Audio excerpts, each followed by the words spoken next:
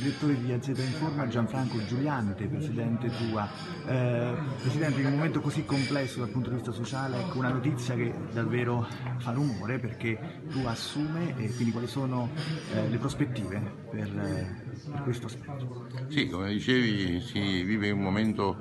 particolare di crisi aziendale non solo in Abruzzo ma in tutta Italia e la tua, eh, il trasporto pubblico della regione Abruzzo in controtendenza annuncia 127 assunzioni, gran parte delle quali fanno riferimento a detti di esercizio, quindi autisti, eh, parte del personale sarà eh, invece amministrativo e poi ci saranno dei tecnici specialistici che eh, nel piano strategico prossimo 21 della Turva avranno delle funzioni che eh, saranno utili proprio a questa rivoluzione che sul trasporto la tua sta mettendo in piedi. I concorsi saranno inevitabilmente concorsi pubblici, eh, si